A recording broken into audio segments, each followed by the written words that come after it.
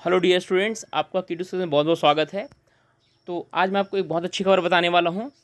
तो छत्तीसगढ़ के सरकारी स्कूलों में दस हज़ार शिक्षकों की भर्ती होगी। तो इसमें सभी को ये डाउट था कि लेक्चरर का जो पोस्ट है, वो आएगा कि नहीं आएगा?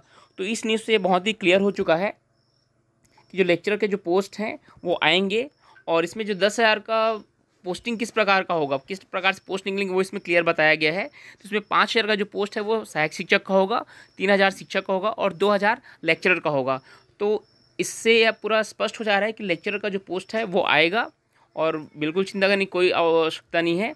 आप सभी अपनी तैयारी में लगे रहिए। तो और लेक्चरर के लिए टेट की आवश्यकता नहीं होती है और जो बी है वो डायरेक्ट लेक्चरर की अप्लाई कर सकते हैं। और सहायक शिक्षक और शिक्षक की जो क्लासेस हैं, हमारे यहाँ चल रही हैं, जो दो सितंबर से स्टार्ट होगी।